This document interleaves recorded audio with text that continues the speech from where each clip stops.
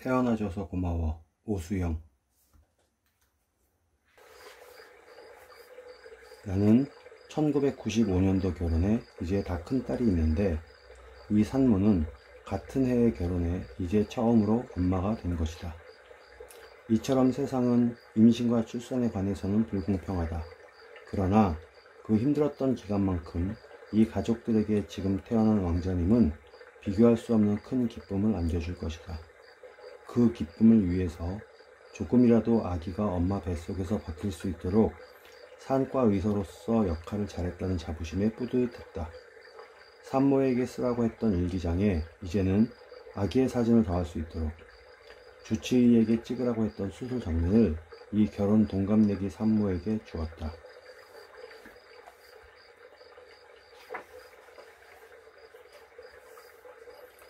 탯줄을 네 번이나 감고 태어난 이 아기에게 매우 긴 탯줄의 길이가 악천후로 작용한 것 같았다. 수술을 끝내고 탯줄을 재보니 길이가 90cm였다. 이는 매우 긴 길이다. 평균은 만사가가 50cm 정도다. 이 탯줄은 아기의 목을 강하게 휘감아 저 세상으로 데리고 가려는 나쁜 동화줄처럼 보였다. 결과적으로 이 아기는 자궁 내 태아 발육 지연 때문에 급격한 태동 감소가 있었던 게 아니고 꽉 끼는 탯줄에 여러 번 감기는 사고 때문에 태동이 10에서 3으로 감소한 것으로 판단되었다.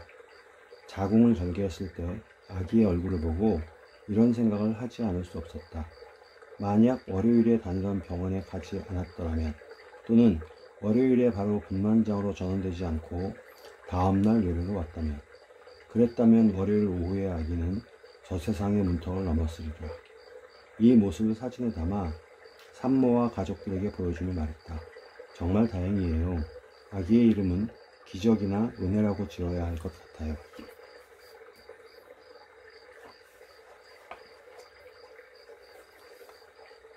다음 날인 월요일 아침 중환자실로 회진을 갔더니 어제 피바다가 되었던 전쟁터, 수술을 집도했던 그 자리에서 환자가 눈을 깜빡거리며 내게 물어왔다. 선생님, 물 마셔도 되나요? 평소 같았으면 대수롭지 않았을 질문.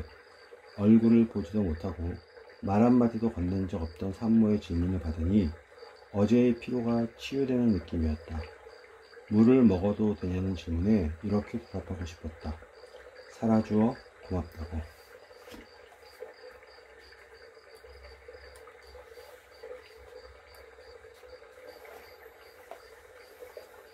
그런데 오늘 한 달 전에 순산한 D 산모가 수줍게 건네고 간 편지에서 발견한 글귀가 마음을 위로한다.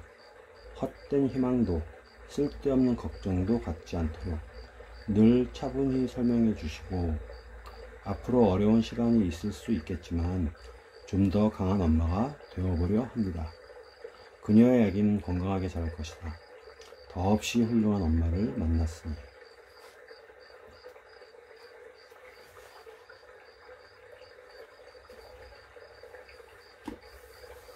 그녀를 처음 본 목요일부터 지금까지 내내 내 머릿속에는 임신 중 다양하고 심각한 합병증이 발생할 수 있음을 기술한 산부인과 교과서 옵스테트릭스의 한 문장이 떠올라 있다.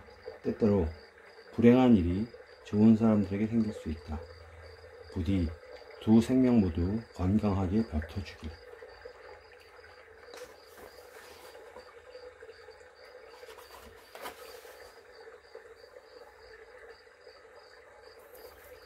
비슷한 듯 다른 태아의 신장 질환으로 한 부부는 어렵게 가진 아기를 제대로 안아보지도 못하고 하늘나라로 보냈으며 한 부부는 아기에 대한 투석 치료를 열심히 하며 희망을 기다린다. 그렇다. 세상에 쉽게 오는 생명은 없다. 다만 우리가 미처 모를 뿐.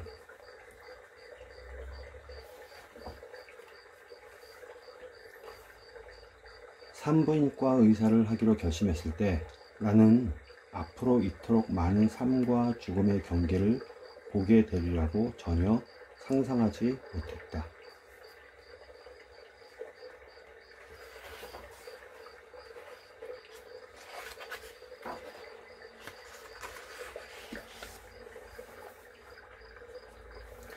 맹장 수술 또는 양악 수술을 하고 나와 통증으로 아픈 환자가 있다고 해보자.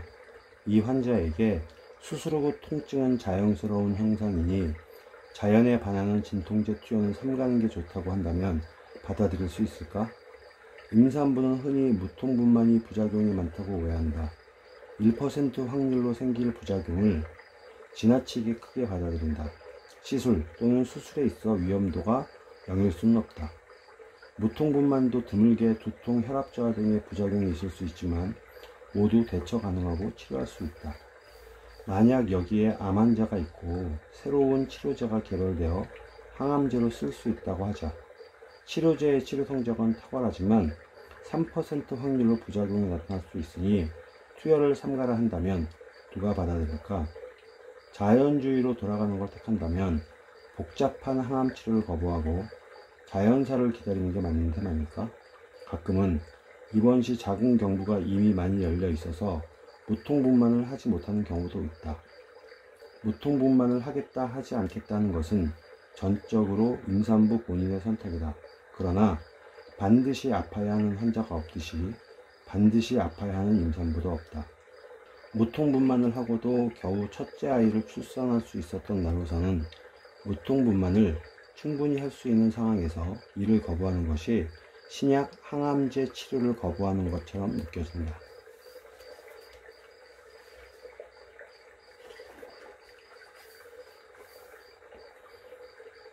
얼마 전에는 임신 때 사산에 과거력이 있는 임산부가 두 번째 임신으로 방문했다. 사산이 된 특정 원인이 있었느냐고 물어보자 말했다. 주변 사람들이 계단을 오르내리면 진통이 온다고 해서 계단으로 20층까지 올라갔는데 그 뒤에 배가 너무 뭉치고 아팠어요. 결국 병원에 갔더니 태반 조기 방리되어 아기가 잘못되었다고. 아니 계단을 오르내린다고 진통이 걸린다면 이 세상에 유도분만이라는 게 없어졌겠지. 의사의 충고보다 옆집 사람의 이야기를 경청하는 임산부는 도대체 왜 이러는 걸까? 나는 산모를 와락 안아주었다. 마음 같아선 아기와 함께 업어주고 싶었다.